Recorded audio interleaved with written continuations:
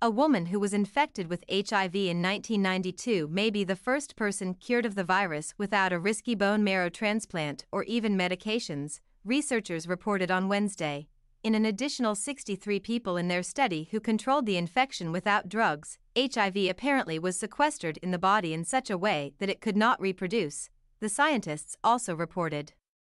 The findings suggested that these people may have achieved a functional cure. The research, published in the journal Nature, outlines a new mechanism by which the body may suppress HIV, visible only now because of advances in genetics.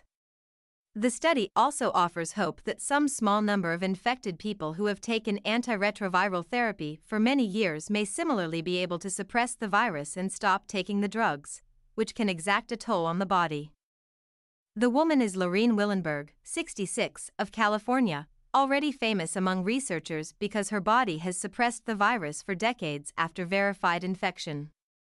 Only two other people, Timothy Brown of Palm Springs, California, and Adam Castillo of London, have been declared cured of HIV.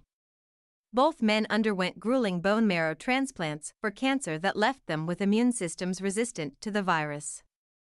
Even among viruses, HIV is particularly wily and difficult to eradicate. It inserts itself into the human genome and tricks the cell's machinery into making copies.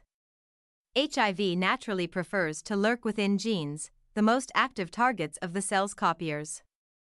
Another 11 people in the study, whom the researchers referred to as exceptional controllers, have the virus only in a part of the genome so dense and remote that the cell's machinery cannot replicate it.